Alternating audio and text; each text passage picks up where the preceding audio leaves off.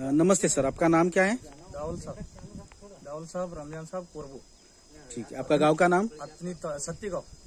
तालुका कौन सा है? अतनी।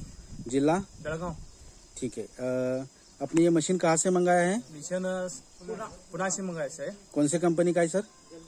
जंदूर। जलदूत जंतूर हाँ। जलदूत का है। हाँ। इससे पहले आप कहा देख कर आए थे ये दो बार देखा है दो बार जाके। कौन से कौन से गाँव गए थे आप? वो गाँव को इधर मुदल तालुक में गए थे ना।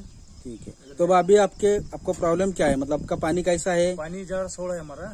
मतलब खारा है? हाँ खारा है पानी। खारे के बारे में हमें मिशन डाले सर देख के आए क्यों ठीक है ठीक है। थैंक यू सर में अभी लाउन करने लिए हमें भी। लाउन करके तुमने भी क्या प्रॉब्लम है ठीक है थैंक यू सर हाँ नमस्ते।